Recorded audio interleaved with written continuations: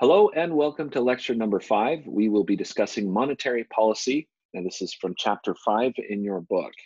Up to this point, we've been talking about the Fed, and now we're going to be talking about how the Fed implements monetary policy.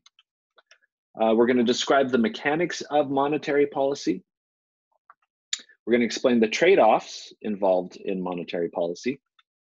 We'll describe how financial market participants respond to the Fed's policies, and we'll explain how monetary policy is affected by the global environment outside of the US. So first we'll discuss uh, the mechanics of monetary policy. So the Fed is constantly monitoring um, the economic situation in the US. So uh, the Fed monitors indicators of economic growth. So they'll look at GDP. Uh, this measures the total value of goods and services produced during a specific period. They'll look at national income. This is the total income earned by firms and individual employees during a spec specific period. They'll also look at the unemployment rate. Um, remember, one of the, uh, the Fed's mandates is to maintain a low unemployment rate in the US, as well as keep st uh, stable prices. They'll look at other indices, indexes, uh, industrial production index, a retail sales index, a home sales index. So these are all um, indicators that the Fed will monitor and discuss uh, as they meet. Um, and they'll use these to, uh, to determine um, some forecasts for economic growth. Uh, these are not the only things that they'll use, but they will um, uh, rely on these heavily. So um, now we're going to discuss um, some of the index of leading economic indicators. So leading economic indicators. Uh, we've got leading economic indicators which predict future economic activity. So when you see the word leading, that means it's an indicator that is meant to predict uh, the future. It's leading, it's coming before um, what's going to happen. And so these are indi uh, leading economic indicators. There's, there are coincident economic indicators, and these tend to reach their peaks and troughs at the same time as business cycles. So these are happening during, at the same time, leading happens before, and then we've got lagging economic indicators, which tend to rise or fall a few months after business cycle expansions and contractions. So they'll look at these indicators um, to help them make better uh, decisions for the future. Um, here are some of the leading indexes, coincident indexes, and lagging indexes that they may use. Um, and these are uh, announced on a regular basis. This is information that's announced uh, to the general public as well. So average weekly hours for manufacturing, average weekly initial claims for unemployment insurance. Uh, at the time of this recording, we're right in the middle of the COVID 19 crisis, and um, unemployment uh, claims are at uh, some pretty historic levels, very high. Manufacturers' new orders, index of new orders from customers, and so on and so forth. There are a number of leading indicators that um, that they will use and look at. Uh, the coincident indexes, employees in non-agricultural payrolls. Um, as a matter of fact, uh, I worked with a Chinese uh, guy who um, invested in gold, and he um, only invested um, or mainly invested uh, when these types of announcements would come out. Um, and uh, he invested in the movement of the price of gold. So um, then there are lagging indexes, average duration of employment, inventories to sales ratio, um, average prime rate. And these things uh, come after, these come during, and these come before the business cycles. Um, there are monitoring indicators of inflation as well. Uh, they'll look at the producer and consumer price index. So you'll hear the term CPI, Consumer Price Index, or PPI, Producer Price Index. Producer Price Index represents prices at the wholesale level, and the Consumer Price Index represents prices paid by customers. So that's at the retail level. Uh, here are some other inflation indicators. Wage rates um, are periodically reported in various regions. Oil prices, These can signal future inflation because they affect the cost of some forms of production as well as transportation costs and the prices paid by uh, consumers for gasoline. Price of gold, closely monitored. I mentioned that I worked with an investor who um, was an expert in gold prices. Um, they tend to move in tandem with inflation. In some cases, indicators of economic growth are also used to indicate inflation. We'll talk a little bit more about inflation um, throughout the course of this lecture, um, but these are some things that the Fed will look at as they're trying to make decisions um, for the future. Uh, here's a, a, last little comment. Demand pull inflation, it occurs when excessive spending pulls up prices, and, and we'll discuss that here in just a second. So the Fed, um, once the Federal Open Market Committee, the FOMC, assesses economic conditions using uh, the tools that we just went through, it identifies its main concerns about the economy and determines the proper monetary policy that would alleviate its concerns. Now, you'll remember the um, mandate of the Fed is to keep stable prices, so uh, keep inflation low and keep uh, employment high. Uh, monetary policy changes the money supply in order to influence interest rates. And so they're trying to influence um, market interest rates. Um, they've got two ways uh, or two approaches depending on what's happening um, in the environment, the economic environment. But one of those uh, are, is stimulative monetary policy. So they're trying to stimulate the economy. So the supply curve of loanable funds indicates the quantity of funds that would be supplied at that time at various possible interest rates. So we're, we're going to look on the next slide um, a, a figure of the supply curve of loanable funds. With a stimulative monetary policy, the Fed increases the supply of funds in the banking system, which can increase the level of business investment and hence aggregate spending in the economy. And we'll, we'll look at how this happens, um, but as we look at Exhibit 5.2, you can see here um, the Fed is uh, taking steps uh, to move the supply of money, the money supply, shift it um, outward. So here we've got S1, um, which is the original money supply. But when the Fed gets involved and is trying to stimulate the economy, do a stimulative uh, approach, uh, that should shift um, the supply curve for loanable funds outward. So Without a change in demand, what we would see is the interest rate, the US interest rate would fall from I1 down to I2. Okay, well, what does that do? Well, as we can see here, I1 is here and I2 is here. And this is the level of business investment in the United States. So you can see when the interest rate drops, the level of business investment will increase from B1 to B2. So businesses are out there borrowing and spending. There's more business investment in the United States when we see the interest rates drop. So what are the effects of a stimulative monetary policy? Um, the impact on interest rates we just saw in the last slide. The quantity of loanable funds supplied exceeds the quantity of loanable funds demanded the interest rate will decline to equilibrium. We saw that going from S1 to S2. Um, so what is the logic behind the impact on interest rates? The depository institutions experience an increase in the supply of funds. Therefore, they borrow less funds or provide more short-term loans at lower interest rates. So people um, are able to borrow those funds at a lower interest rate. Um, so how does this affect the business cost of debt?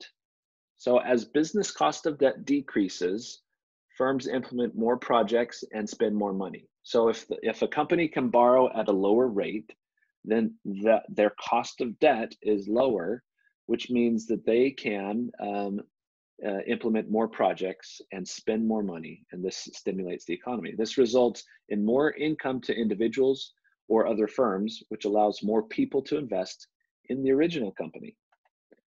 So um, so that's how it affects the cost of debt. How does it affect the cost of equity?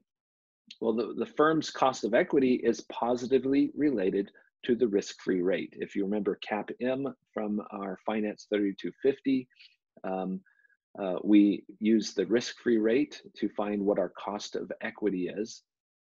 A lower risk-free rate means a lower cost of equity or a lower required rate of return. So here are a summary of the effects.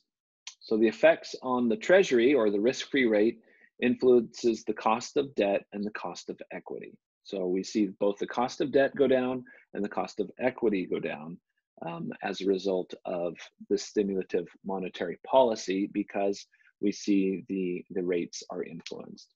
Cost of capital is reduced.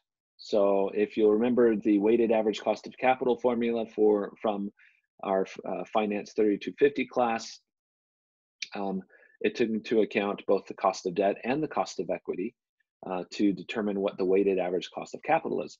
And if both of those are reduced, then the cost of capital is reduced, which reduces the required return on cost of products. Encourages firms to spend more money and hire more employees. So here's a diagram of how this works. So the Fed implements a stimulative monetary policy. And that is aimed at reducing interest rates. If they're successful at reducing interest rates, it will reduce the cost of debt for firms, that's decreased, and the cost of equity is decreased. So the firm's total cost of capital or weighted average cost of capital decreases, and which also decreases the firm's required return on its projects. So as a result, they'll implement more, implement more projects, hire more people, purchase more materials, so on and so forth. And so it stimulates uh, growth in the economy when um, when the Fed reduces the interest rate through their monetary uh, policies. Okay, so the Fed will also focus on uh, long-term maturities. What, what do we mean by long-term maturities? Um, you'll remember the Fed will issue um, treasury bonds, and some of them are long-term and some of them are short-term. We call them short-term T-bills. Um, and part of their monetary policy is a focus on their longer term maturities. Um, in 2011 to 2012, the Fed implemented what they called Operation Twist. Um, the Fed sold holdings of short term treasuries, so like T bills, and used the proceeds to purchase long term treasury securities. So maybe they, they sold out in the, the public a whole bunch of one to three year uh, treasuries. So those are more short term. And with the proceeds, with the money that they got from selling those uh, treasury bonds, they then go out and repurchase or purchase their outstanding long term uh, treasury securities. So, in theory, this will increase short term interest rates and decrease long term interest rates. So, um, and that's because they're flooding the market with the short-term securities. So that'll increase uh, the rates, um, decrease um, the, the price. Uh, and on the flip side, as they go out buying long-term securities, that increases the price, which uh, decreases the interest rates there. Um, the expected result, firms are more willing to borrow funds for spending on new projects, therefore stimulating the economy and creating jobs. Okay, so um, do they get it right all the time? They do not. Um, with their best efforts, sometimes their stimulative monetary policy might still fail. Um, one potential reason is there's limited credit provided by banks. So even though the Fed is pumping money out into the market um, uh, by buying back uh, their securities, um, uh, the banks may still not provide credit to their customers. So the banks will hold on to the cash and not and not lend it out. So even if the Fed increases the level of bank funds, banks may be unwilling to extend credit to customers. And in really um, difficult times, and we are uh, potentially in one of those times, um, banks may be a little bit more stringent with their lending um, requirements. and they might not lend as much because they're scared that people will not be able to pay them back. Um, also, there's a low return on savings. Um, the lower the, the rate, uh, the lower the return on those who are saving their money. So if, if you put your money into a savings account, um, right now you're earning virtually nothing. Um, and so lower interest income translates to lower spending.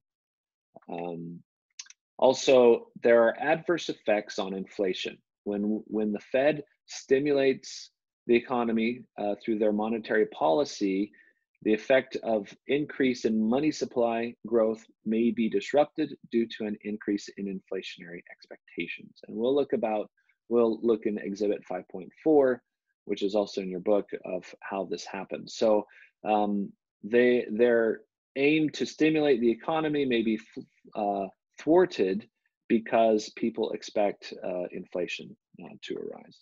Okay, so here, here's an illustration of that. Okay, so we've got S1, which is the original supply, and then S2 is a shift out because of the stimulative monetary policy.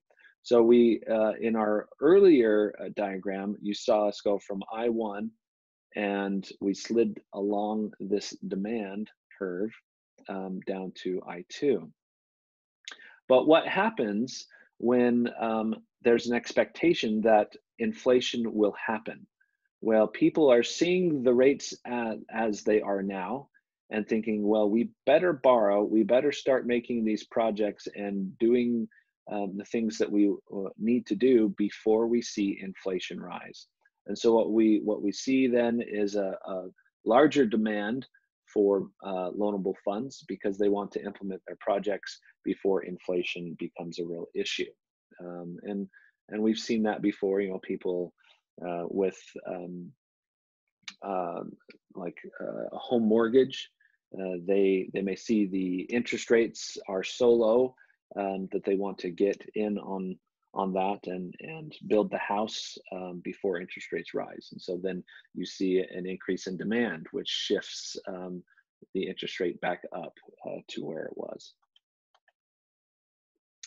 um, some effects of restrictive monetary policy now. now up to this point we've been discussing stimulative monetary policy but sometimes the fed um, needs to have a restrictive monetary policy um, increasing risk-free interest rate uh, will increase corporate cost of financing, therefore decreasing the level of business investment. So it, it does the exact opposite of the uh, stimulative. Uh, this causes businesses to decrease the level of investment. As economic growth is slowed, inflationary pressure may be reduced. And so uh, the Fed is trying to balance growth with inflation. Now, in a perfect world, you could have uh, constant growth with no inflation, but we don't live in a perfect world. And so the Fed sometimes sees inflationary pressures being strong uh, or, even um, uh, real inflation increasing.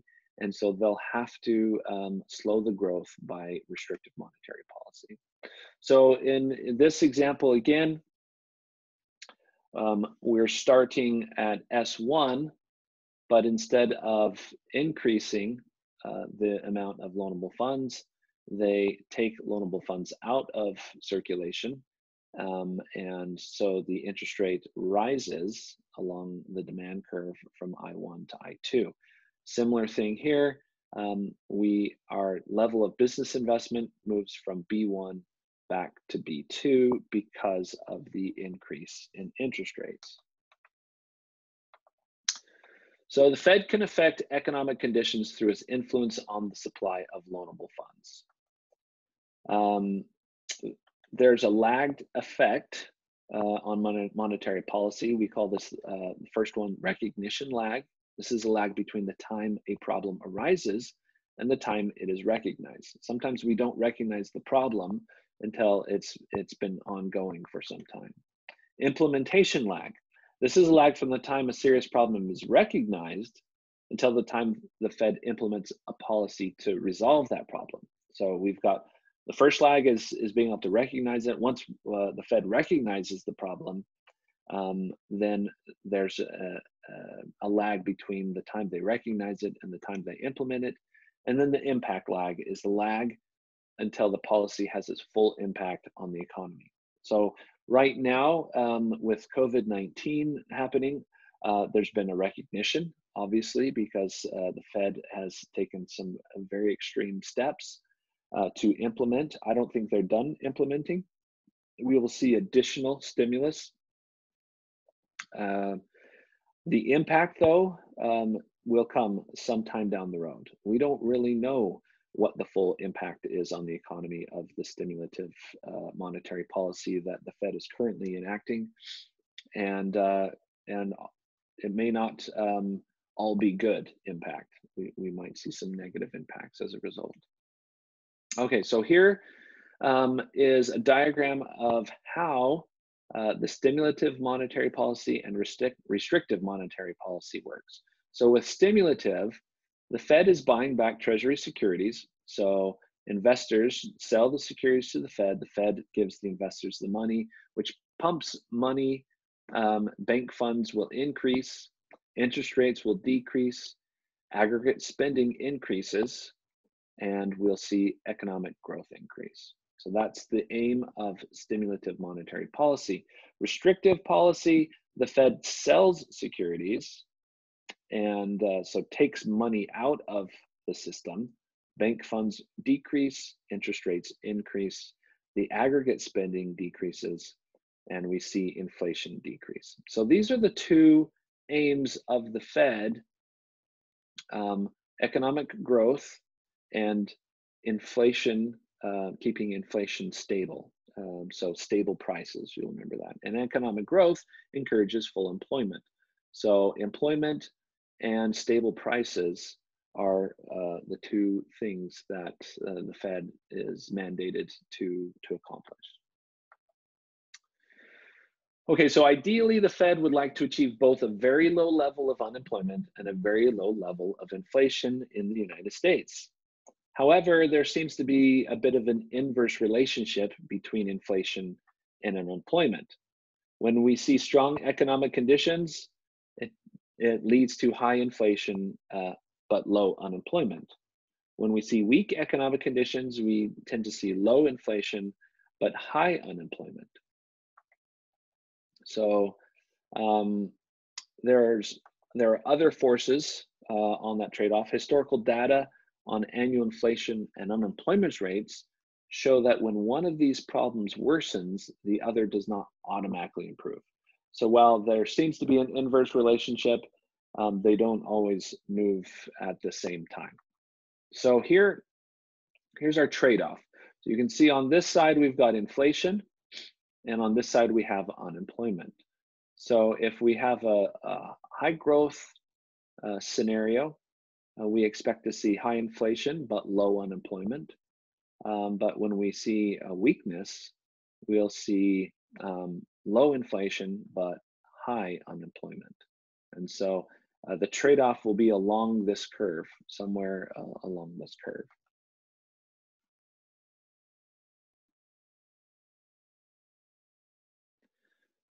So um, this curve can shift outward um, as a result of outside forces. Uh, for example, uh, what if oil prices have increased substantially such that the minimum inflation rate would be higher? And so it will shift this entire curve outward. So there's still a trade off, but inflation is much higher um, and unemployment is higher uh, at the same time. And so they've got to try and balance between these two points and find uh, the best solution for the economy. So outside forces can shift this backward or forward. So we're going to review just a few shifts in monetary policy over time. Uh, they seem to be a little bit of a yo-yo, um, trying to balance. So in 2001 to 2003, there was a focus on improving the weak economy. Um, from 2004 to 2007, the focus focus was on reducing inflation. From 2008 to 2015, again, the focus was on improving a weak economy after the credit crisis. Um, so we've been discussing up to this point monetary policy. So this is the Fed's um, what the Fed controls. They control monetary policy. Uh, but how does the monetary policy respond to fiscal policy? What is fiscal policy? Well, the Fed's monetary policy is commonly influenced by the administration's fiscal policy. So whoever's uh, in control of the, the Congress or the White House will have certain fiscal policies, um, either high spending um, or low spending. Um, so if fiscal pressures create large budget deficits, this may place upward pressure on interest rates and the Fed may feel pressure to use a stimulative monetary policy to reduce interest rates. So when the when the federal government is running large budget deficits, it kind of forces the hand of the Fed to do uh, uh, implement certain monetary policies um, to keep inflation low. Fiscal policy shifts demand for loanable funds, but monetary policy has a larger impact on the supply of loanable funds. So the fiscal policy can shift demand. Uh, monetary policy has an impact on supply. And so the government can affect the demand curve while monetary policy um, mostly affects supply of loanable funds. So here's the framework for explaining how monetary policy and fiscal policy affect interest rates over time. So the US fiscal policy is right here in purple, and you can see um, their fiscal policy uh, affects US personal income tax rates. They can change the tax rates. Um, the US budget deficit, the government can spend more than they bring in, and the US business tax rates. And these will affect personal income level, uh, household demand for funds, government demand for funds, and US business demand for funds. Um, also, they'll affect savings by US households and the supply of funds in the United States uh, and the demand for funds in the United States. So here is where the US interest rate is. It's affected not only by the monetary policy, which affects the supply of funds, but it affects uh, it's affected by US fiscal policy, which mostly affects demand for funds in the United States. And so it's a very difficult balancing act for the Fed to try and uh, reach when they're not in control of all the pieces. So there, there have been proposals to just focus on inflation, only on inflation.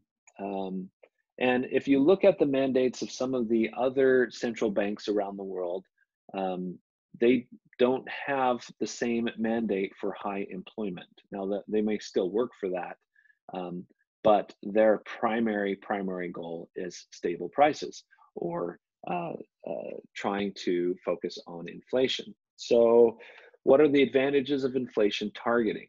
The Fed would no longer face a trade off between controlling inflation and controlling unemployment.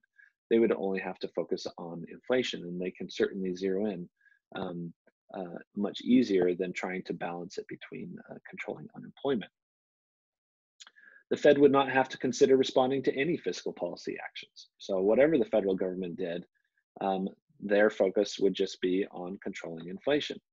The Fed's role would be more transparent and would lead to less uncertainty in financial markets. Um, and the financial markets really do not like uncertainty. And so that there could be some positives there. But what are the disadvantages of inflation targeting? The Fed could lose credibility if the US inflation rate deviated substantially from their target inflation rate. And this is quite possible as well. Um, and so um, it could result in a much higher unemployment level. And we do see that in other nations where their central bank's primary focus is uh, solely on inflation targeting. And as a result, uh, those countries tend to experience periods of much higher employment than the US has experienced. What about the impact on financial markets of monetary policy? Well, it, it, affects the valuation of securities. Bond values are inversely related to interest rates. So when interest rates rise, bond values decrease. When interest rates decrease, bond values increase. Stock values are also affected by interest rate movements. Also, the Fed's communication to financial markets uh, play a big role. After the FOMC meeting, the conclusion is announced through an FOMC statement. The markets are always watching that, and we do see uh, movements um, as a result of what comes out uh, uh, on the FOMC statement. The impact of the Fed's response to the oil shock. Any event that might disrupt the world's production of oil triggers concerns about inflation. So the Fed does not have control over oil prices, but it can dampen any inflationary pressures if it slows economic growth. And so oil is a is a big factor um, that um, uh, they look at as we look, uh, looked at the beginning of this lecture. And so um, the Fed's response to oil shocks um, is uh, an important one. Okay, so here is um, how monetary policy affects financial conditions. We have the FOMC. Um, they uh, have a money supply target. And so they're going to be targeting um, a certain supply of loanable funds.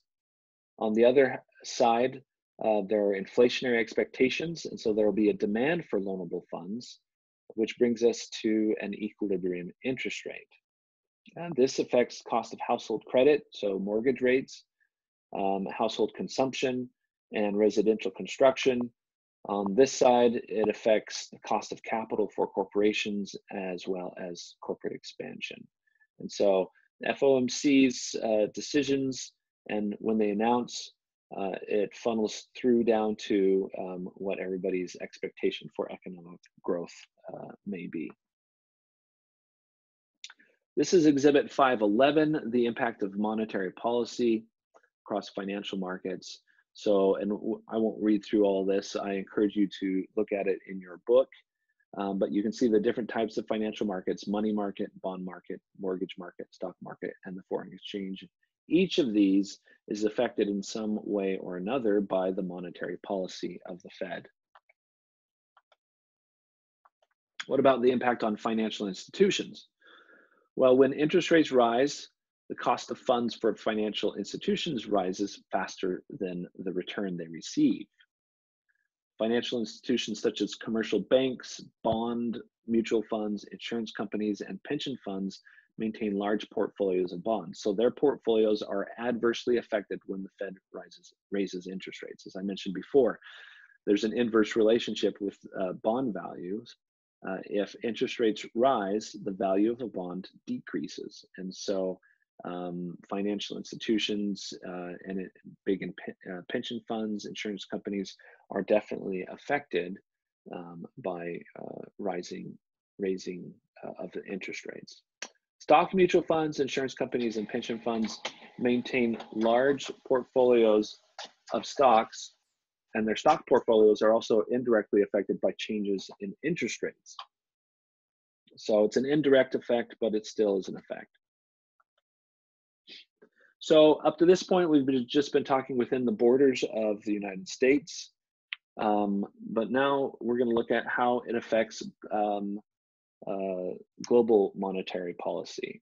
Um, first, we'll look at the impact uh, of the dollar. If the US economic conditions are weak, a weak dollar can stimulate the economy by stimulating US exports and discouraging US imports. So if the dollar weakens against another currency, that means our goods and services are cheaper to those living outside the US.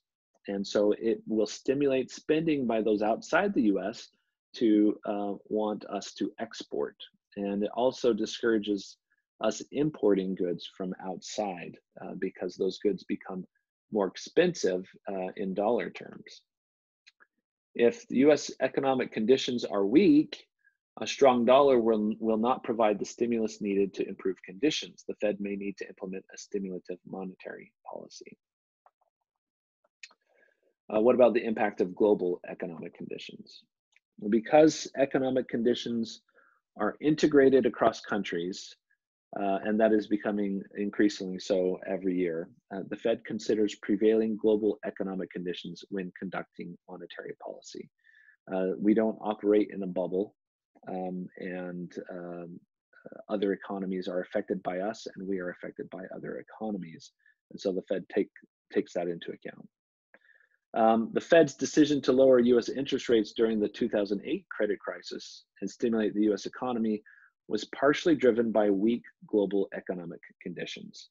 Um, and so it wasn't just the US that was struggling through that time, um, it was uh, other nations. Um, and so, because of that weak global economic condition, that was one of the, the reasons uh, of the implementation of the stimulus uh, in the US economy. Um, global interest rates will also vary between countries. So uh, while interest rates may be high in one country, they could be low in another country, depending on that country's uh, monetary policy.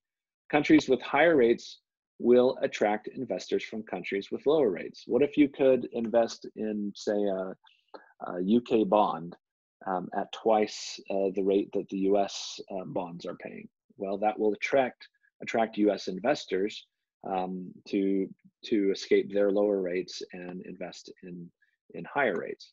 If investors leave due to US falling rates, the Fed may believe it should act to prevent rates from falling lower. So investors are leaving the US to and investing their money uh, internationally. So the Fed might uh, act to prevent rates from falling lower. Given the international integration in money and capital markets, a government's budget deficit can affect the interest rates of various countries, referred to as the global crowding out. And we'll look at that right here. So, okay, Exhibit 5.12 in your book shows an illustration of global crowding out. Um, and we can see that an increase in the US budget deficit causes an outward shift in the federal government's demand for US funds and therefore in the aggregate demand for US funds. So we see this shift, we can see what the shift does to interest rates within the US. Interest rates increase from I1 to I2. As US rates rise, they attract funds from investors in other countries. So uh, here we've got Germany and Japan. So German and, and Japanese investors see the rising interest rates in the United States. And so, um, uh, as foreign investors use more of their funds to invest in US securities, the supply of available funds in their respective countries decline. So, we'll see uh, as the money shifts to overseas, it shifts the supply in their respective countries up. So, it'll drive interest rates up in their respective countries as well. Uh, this is what we call global crowding out, and it's generally uh, as a result of um, budget deficits and fiscal policy um, by nations. Now let's uh, quickly look at the impact of the crisis in Greece on the European monetary policy. So uh, the Greek crisis, um, they uh, really struggled financially in the spring of 2010. Greece experienced a weak economy and a large budget deficit. Um, Creditors were less willing to lend to the Greek government um, because they feared that the government may be unable to repay the loans. So the ECB, European Central Bank, was forced to use a more stimulative monetary policy than they desired in order to ease concerns about the Greek crisis, even though this caused other concerns about potential inflation in the Eurozone. So um, there are other countries that were not struggling um, but because uh, of the union here and working underneath one central bank, um, the European Central Bank was forced to implement stimulative monetary policy, which helped head off uh, the crisis in Greece, but also created potential uh, inflation concerns in other countries throughout the Eurozone. So just as a summary to, to finish up, by using monetary policy, the Fed can affect the interaction between the demand for money and the supply for money, which affects interest rates, aggregate spending, and economic growth. As the Fed increases the money supply, the interest rates should decline and result in more aggregate spending because of cheaper financing rates and higher economic growth. On the flip side, as the Fed decreases the money supply, interest rates should increase and result in less aggregate spending because of higher financing rates. Lower economic growth will occur and lower inflation. A stimulative monetary policy can increase economic growth, but it could ignite demand pull inflation. A restrictive monetary policy is likely to reduce inflation, but may also reduce economic growth. Thus, the Fed faces a trade off when implementing monetary policy. Given a possible trade off, the Fed tends to pinpoint its biggest concern, unemployment versus inflation, and assesses whether the potential benefits of any proposed monetary policy outweigh the potential adverse effects. Um, so we see this, it's a, a pendulum swing, um, and they only act as it gets outside of um, uh, where they would like to be. Because monetary policy can have a strong influence on interest rates and economic growth, it affects the valuation of most securities traded in financial markets. Financial market participants attempt to forecast the Fed's future monetary policies and the effects of these policies on economic conditions. When the Fed implements monetary policy, financial market participants attempt to assess how their security holdings will be affected and adjust their security portfolios accordingly. For instance, um, a lot of bond portfolios, if they foresee um, uh, issues in the future, um, they may uh, sell uh, their long-term holdings and go to short-term holdings. And so they, they try and anticipate um, issues in the future. Finally, the Fed's monetary policy must take into account the global economic environment. A weak dollar may increase US exports and thereby stimulate the US economy. If economies of other countries are strong, this can also increase US exports and boost the US economy. Thus, the Fed may not have to implement stimulative monetary policy if international conditions can provide some stimulus to the US economy. Conversely, the Fed may consider a more aggressive monetary policy to fix a weak US economy if international conditions are weak, since in that case, the Fed cannot rely on the other economies to boost the US economy. And that uh, summarizes what we reviewed in lecture number five. If you have any questions, please reach out to me uh, during my office hours. If those times don't work for you, um, then you can uh, shoot me an email and we'll schedule a time to chat. Thank you very much.